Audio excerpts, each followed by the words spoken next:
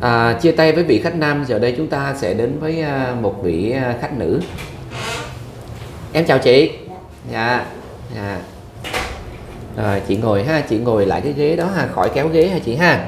Ngồi đúng cái vị trí đó cho em. à Em hay nói là áo đỏ chứng tỏ chưa yêu. à, chị cho em mượn cái phiếu để em biết được tên tuổi của mình hả chị ha? à rồi rồi đây là cái micro chị cầm để sát cái cầm của mình á. Ừ, sát lên trên cầm của mình cho nó rõ. Cầm vậy đi. Đúng rồi. ha? rồi vậy ha chị ha. Dạ. à, chị giới thiệu tên tuổi của mình cho cô chú anh chị biết hả chị ha? À, chị tên à, à, Phương Nguyễn Thị Lam Phương. À, Nguyễn Thị Lam Phương. À, sinh à, à, 86 à Nguyễn vậy là năm Phương. năm nay là 50 à, 54 tuổi chị ha? Dạ 54 tuổi. Dạ, 54 54 chứ không phải 54 Thì chị ha dạ. Chị Phương đến từ đâu? ở quận 8 á À, ở quận 8 Sài Gòn hả à, chị? Sài Gòn ở um, Trường Dương Bá Trạc quận 8 á À, vậy hả chị? Dạ, Dạ ừ. Chị đi xuống đây thì chụp được nhiều hoa rồi này kia chưa? Chụp được nhiều cảnh chưa?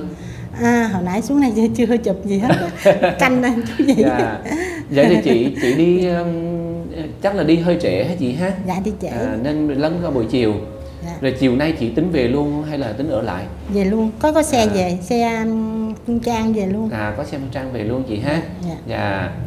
Vậy thì ừm, hôm nay chị Phương xuống ờ, gặp em á thì chị Phương Phương muốn ờ, bày tỏ điều gì có thể ừm, cho em biết được không?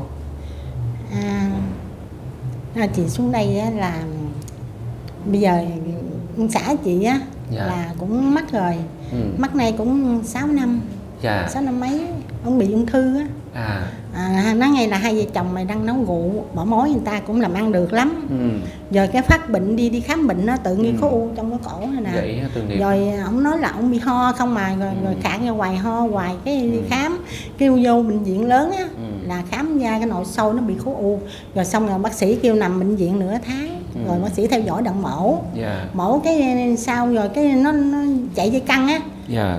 Rồi cái là xạ trị hoài xạ trị hoài luôn rồi lần thứ ba thuốc không vô mà Dạ. nằm nó cũng mấy tháng à Thế ờ, cuộc sống Rồi. nó vô thường quá chị rồi ha. cái mình đang làm ăn ngon lành tự nhiên Ừ. cái giờ phát bệnh cái rồi chớ nhớ luôn Dạ. rồi à, hỏng chân luôn đó rồi Dạ. à, rồi chị cũng không biết sao giờ có mấy mẹ con nhỏ lớn thì nó có chồng ở riêng rồi Ừ. còn à, nhỏ út thì nó chung với chị nhỏ út cũng 30 tuổi rồi nhỏ lớn thì cũng Ừ. 36 tuổi Chị tất cả có mấy đứa con? có hai đứa con gái à À chị có hai đứa con gái. hai đứa con gái đứa lớn có chồng người qua cũng được À. lắm cũng đỡ À. còn đứa nhỏ út thì có chồng người bắc mà cũng à, giờ nó thất bại rồi nó về chị ở chung chị Ừ. rồi sau này à, ảnh chồng chị mắc á rồi Ừ. cái lo bệnh nhiều quá mà mình không có tiền nữa rồi chơi giới luôn rồi phải à, chạy lo tiền Dạ. rồi cái chị mới bán nhà bán nhà để tiền trả nợ cho người ta lúc đang bệnh á Dạ. bệnh ung thư này rất là bao nhiêu tiền cũng không đủ Bao nhiêu tiền cũng không đủ. không đủ luôn Dạ. chứ là còn nước còn tát còn nước tát hoài Dạ. tát thì tát chừng nào tới ông mấy bác sĩ trả về luôn Vậy Rồi, là à, ảnh từ khi phát bệnh cho đến khi ảnh mất là bao nhiêu năm mấy năm chị? cũng à, gần cả năm Gần cả năm. vô bệnh viện á Dạ, dạ. lớp nhà chị đang nấu rượu mà mình bỏ sợ bỏ mối á mắc Ừ. mối á rồi về chạy về nấu rượu rồi vô chăm nom à, chồng chị đó mà không qua khỏi là cũng mấy tháng trời rồi chị hết nổi không mắc rồi chị cũng bán nhà trả nợ ờ, cái mình mượn lo bệnh á Dạ. rồi không mắc rồi giờ mấy mẹ con cũng mướn nhà ở cũng khổ có như út bây giờ nó chồng nó hơi thất bại rồi chị về ở chung chị á cũng mướn ở luôn có nhà ở ngon lành mà tự nhiên ông bệnh cái phát bệnh cái là trở tay không kịp luôn Dạ. rồi giờ nhỏ lớn thì có nhà ở còn chị út nó hơi thất bại Dạ. giờ chị cũng có ba đứa cháu ngoại đứa Dạ. nào cũng học lớp 1 á Ừ.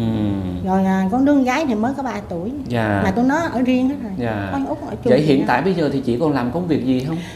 lúc trước á, là chị à, hồi xưa hồi đó thì chị bán à, à, bán xôi bắp Ừ.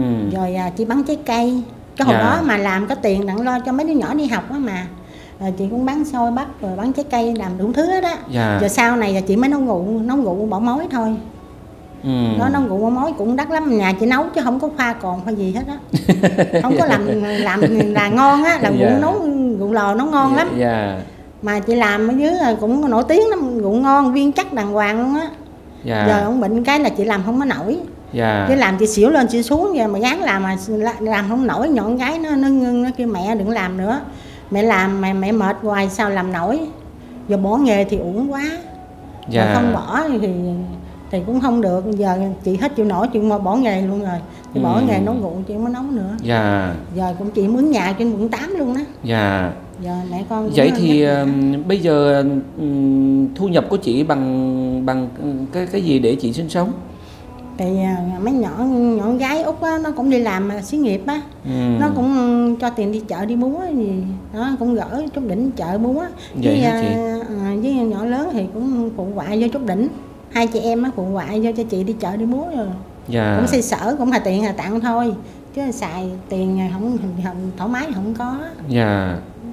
Giờ chị cũng muốn à, chị muốn à, mà có đất đai chị nấu rượu đồ lại mà chị không có cái khả năng cái đó lo nổi. Ừ. không không còn khả năng nữa. Chưa chưa có chưa có vốn để nấu À, rượu chị? à, nấu rượu không nói chị nấu Dạ. rượu cũng đắt lắm á. Dạ. Vừa bán sỉ mà vừa bán lẻ luôn nữa dạ. Cũng được mà chị hơi vất vả một chút. Tội nghiệp vậy là coi như hết vốn luôn. Hết vốn luôn tiêu nhà cửa cũng tiêu luôn hết dạ.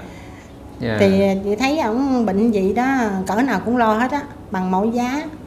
Chứ Ừ. còn nước còn tác hoài luôn á chịu, không nổi luôn á.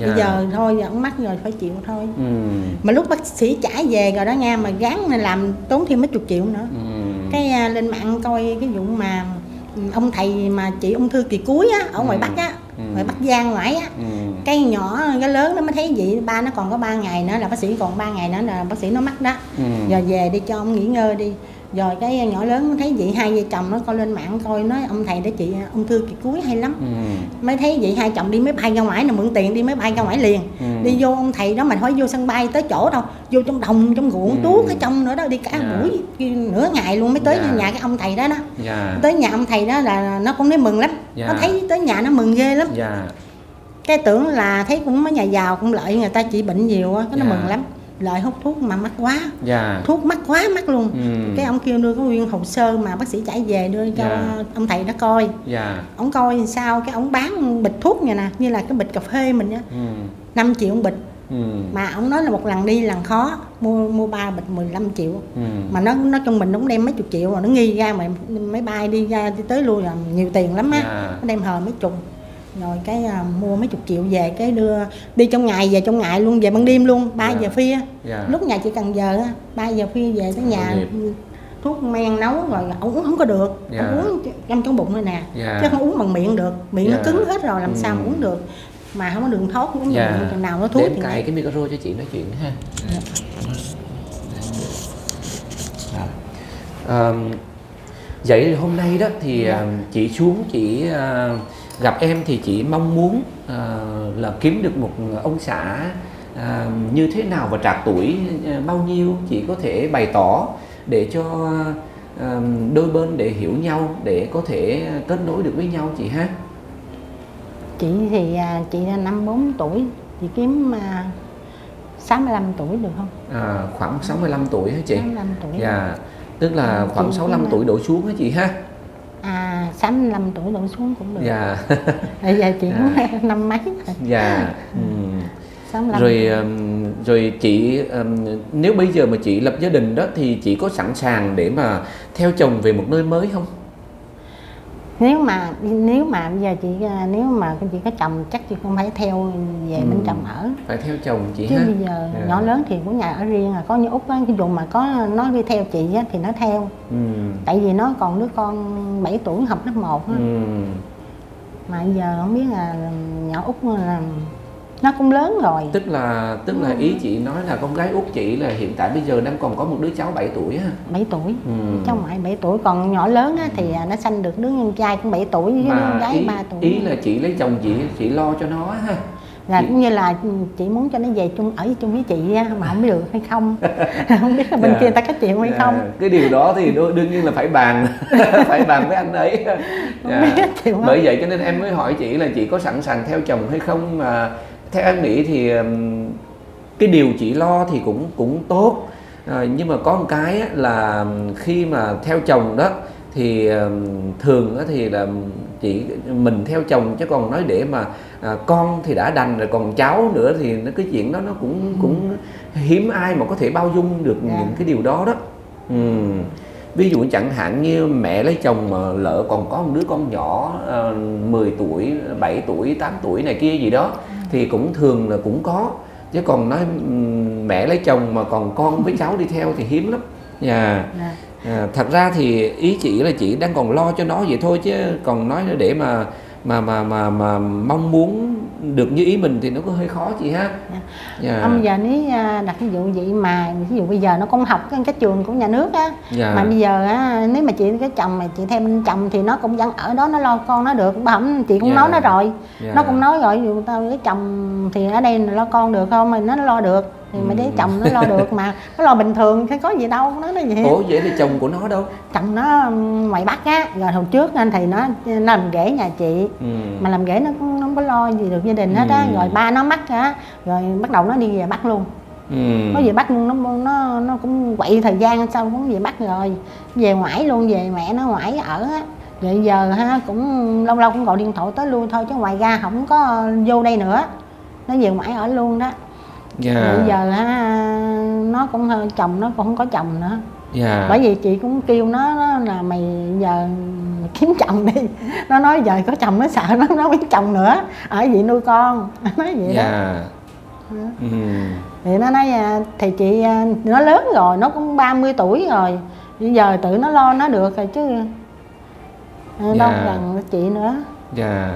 Rồi nhỏ lớn thì giờ có chồng riêng tư nó có nhà cửa riêng tư nó, cũng thoải mái rồi chị cũng đỡ lo nhỏ lớn đó Dạ. có nhỏ nhỏ thì à, giờ nó lớn rồi nó cũng hiểu biết rồi. Dạ. nó cũng làm xí nghiệp Dạ. À, còn ngoài cái việc mà nãy giờ chị em mình bày tỏ ra thì chị còn muốn à, nhắn gửi điều gì thêm hay là muốn bày tỏ gì thêm không? dạ. giờ à, thì giờ chị à, nhờ ví dụ á, là Dạ.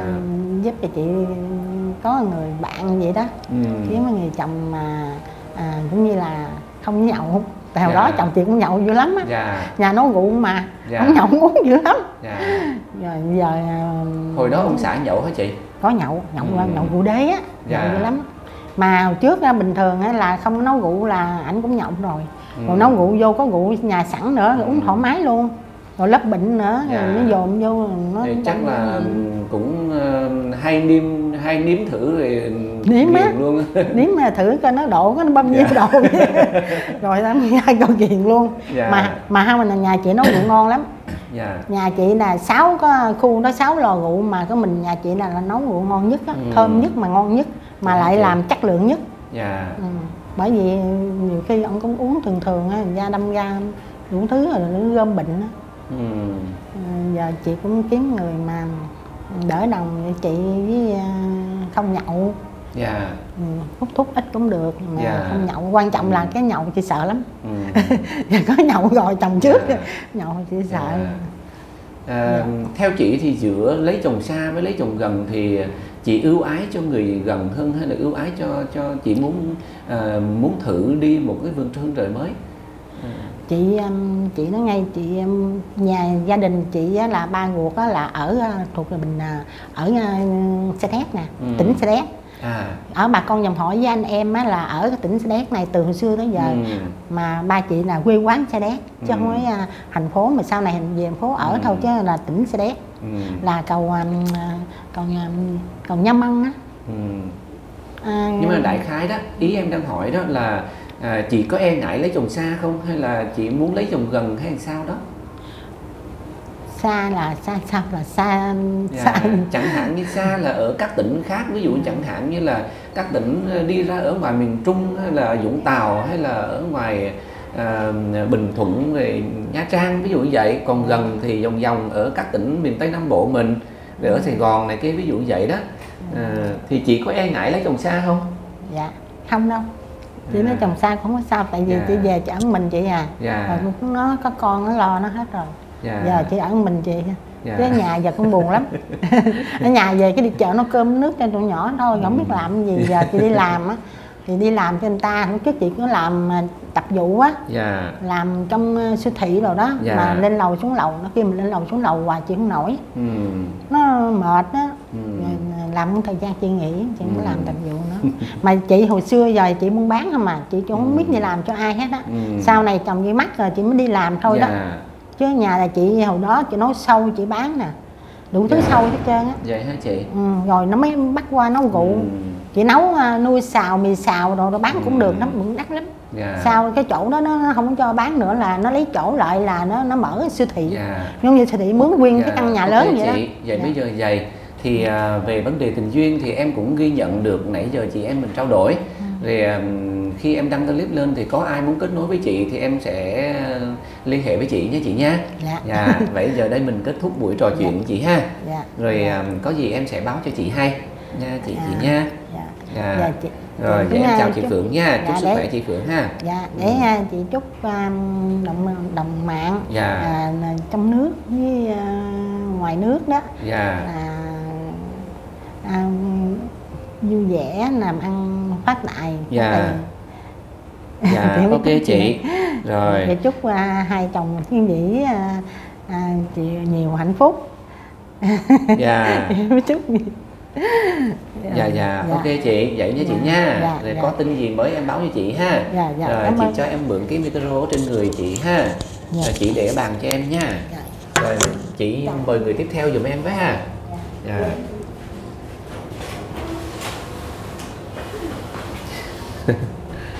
à, thưa quý vị à, có vẻ như chị nói chuyện không được nhập tâm cho lắm. À, giờ đây chúng ta sẽ đến với vị khách tiếp theo.